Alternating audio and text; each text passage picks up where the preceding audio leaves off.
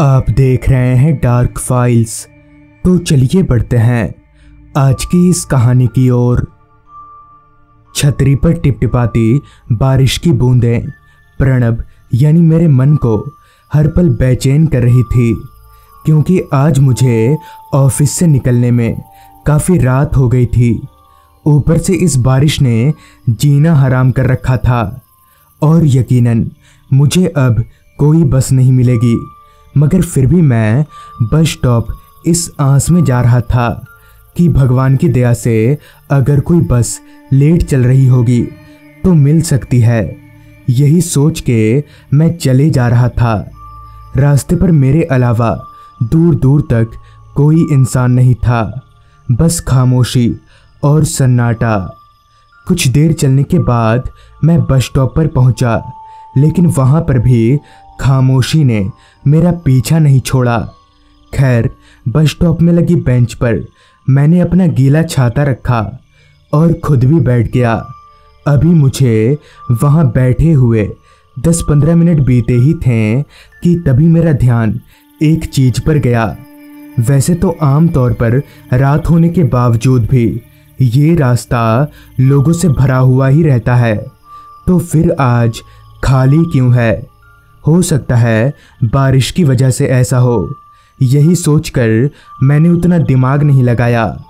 Bench पर बैठे बैठे ही मैं आसमान में देखने की कोशिश कर ही रहा था कि तभी किसी ने मेरे कंधे पर हाथ रखा।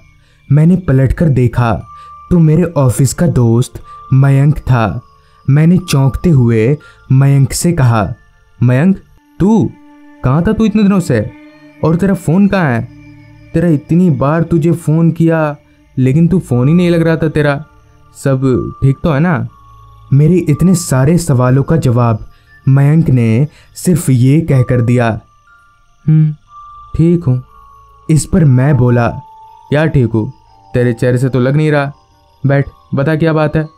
अभी मैंने इतना कहा ही था कि तभी एक बड़ी सी गाड़ी की हॉर्न सुनाई दी। जब मैंने उस आवाज़ की ओर मुड़कर देखा तो मैं हैरान रह गया, क्योंकि एक तेज रफ्तार बस हमारी ओर ही चली आ रही थी। तभी मयंक बोला, बस में चल, सब बताता हूँ। मयंक के इतना बोलते ही बस रुकी और हम दोनों बस में चढ़ने लगे। मेरे और मयंक के अलावा बस में तीसरा कोई पैसेंजर नहीं था। खैर, मैं और मयंक एक ही सीट पर बैठ गए। साथ ही साथ मैंने कहा, बोल, क्या हुआ? इस पर मयंक ने बताना शुरू किया। बात कुछ दिन पहले की है।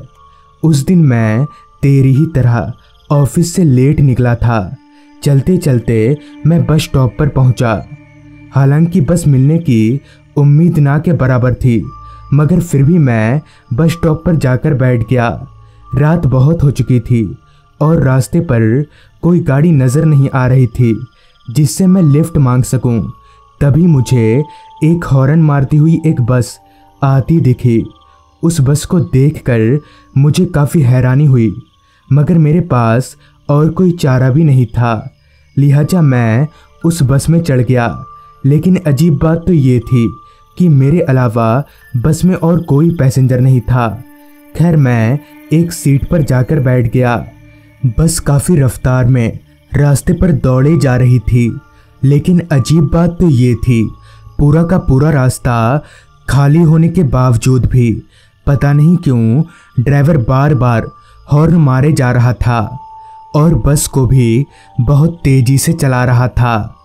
अभी मैं सीट पर बैठे बैठे हॉर्न की आवाज़ को बर्दाश्त कर ही रहा था, तभी मुझे ये एहसास हुआ कि इतनी तेज बस चलने के बावजूद भी बस के भीतर ज़रा भी हवा नहीं आ रही, जबकि बस की सारी खिड़कियाँ खुली हुई थी। मुझे कुछ समझ नहीं आ रहा था कि आखिर ऐसा क्यों हो रहा है।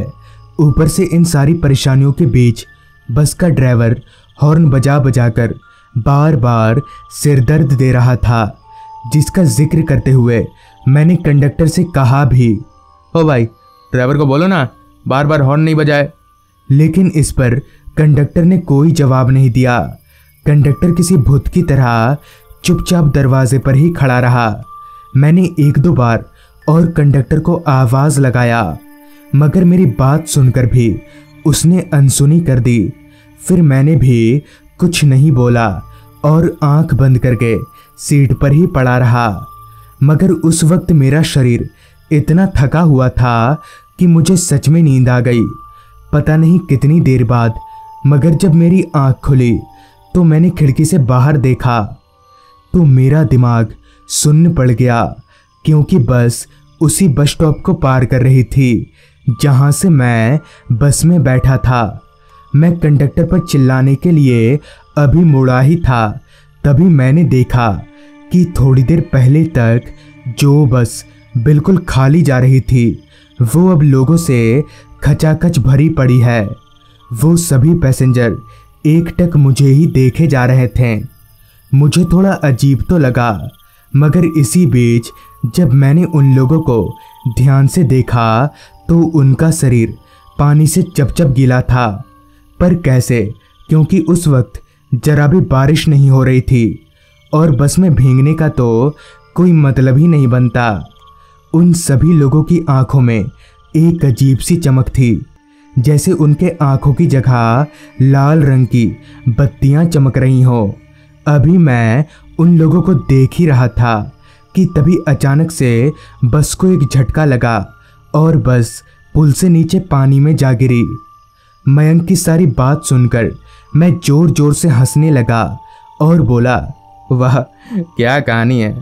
कहा अच्छा है मगर फिर तू बचा कैसे? इस पर मयंक बोला। बचा नहीं मर गया। मयंक की ये बात सुनकर मुझे और हँसी आ गई। अच्छा अब तो तू आत्मा बन गया होगा। एक काम करना मुझे भी उस बस में ले चल। मैं भी मिल लूँगा तेरे उस भूतों से। इस पर मयंक कुछ पलों के लिए चुप रहा मगर फिर गंभीर सी आवाज़ में उसने जो कहा वो मेरे होश उड़ा गया। जाने की कोई ज़रूरत नहीं है। तू उसी बस में बैठा हुआ है। उसके इतना बोलते ही मैंने घूमकर पीछे देखा तो मेरी आँखें फटी की फटी रह गईं क्योंकि बस में अपने आप ही ढेर सारे पैसेंजर आ गए थे। और जैसा मयंक ने बताया था ठीक वैसे ही उन सभी के कपड़े पानी टपक रहा था। और तो और उन सभी की आँखें भी लाल थी। तभी मुझे एहसास हुआ कि हॉर्न मारती बस काफ़ी स्पीड में चल रही है, मगर बस के अंदर ज़रा भी हवा नहीं आ रही। मैं झट से मयंक की ओर पलटा तो उसकी आँखें भी लाल और शरीर पानी में चपचप भींगा हुआ था। ये सब देखने के बाद मुझे अब डर लगने लगा था। मैं सीट पर से उठकर भागना चाह रहा था, लेकिन बस का दरवाज़ा बंद और दरवाजे पर ही कंडक्टर खड़ा था। डर से थरथर काँप रहा मैं, किसी ज़िंदा लाश की तरह उसी सीट पर बैठा रहा। मयंक अपनी लाल आँखों से मुझे बार बार घूरे जा रहा था और मैं उससे आँख ना मिलाने की नाकाम कोशिश में था। तभी मैंने देखा कि बस का कंडक्टर चलते हुए मेरी ओर आ रहा है। फिर कंडक्टर मेरे पास आकर रुका और मुझे भाड़ा देने का इशारा किया। डरते डरते मैंने अपने शर्ट के ऊपरी जेब से भाड़ा निकाला और उस कंडक्टर को भाड़ा देते वक्त जब मेरा हाथ उसके हाथ में सटा तो मुझे ऐसा महसूस हुआ जैसे मैंने किसी बर्फ़ की सिल्ली को छुआ हो। मैं ठिठक कर पीछे हट गया। क्योंकि किसी ज़िंदा इंसान का शरीर इतना ठंडा नहीं हो सकता। मेरे से भाड़ा लेकर कंडक्टर फिर से बस के दरवाजे पर जाकर खड़ा हो गया। मेरे दिमाग ने काम करना बंद कर दिया था। सब कुछ मेरी समझ से परे था, लेकिन मैं इतना जानता था कि अगर मैं इस बस में ज़्यादा देर रुका तो मेरे लिए अच्छा नहीं होगा, और मुझे यहाँ से निकलने के लिए कुछ ना कुछ करना पड़ेगा। मगर क्या ये सूझ नहीं रहा था? कुछ देर बाद मैं बहुत हिम्मत जुटाकर अपनी सीट पर से उठा और ड्राइवर को बस रोकने के लिए बोलने ही वाला था। तभी मैंने देखा कि ड्राइविंग सीट पर कोई ड्राइवर नहीं है। इसका मतलब बस अपने आप ही चले जा रही थी। मैंने ये मान लिया था कि अब कुछ नहीं हो सकता। मगर तभी बगल में बैठे मयंक ने मेरा एक हाथ पकड़ा और मुझे खींचकर बस के दरवाजे की ओर ले जाने लगा। मैं जानता था कि मयंक मेरे साथ क्या करने वाला है, मगर मैं हार मान चुका था और खुद को छुड़ाने की कोशिश तक नहीं कर रहा था। लेकिन तभी कुछ ऐसा हुआ जो शायद सपने में भी किसी ने नहीं सोचा होगा। बस रुकी और दरवाज़ा खुला। जिसके साथ ही मयंक ने मुझे खींचकर बस से बाहर फेंक दिया। मैंने आसपास देखा तो बस किसी पुल पर चढ़ने वाली थी। मेरे बस से उतरते ही वो बस पुल पर चढ़ गई और थोड़ी दूर जाकर ही पुल की रेलिंग को तोड़ती हुई पानी में जा गिरी।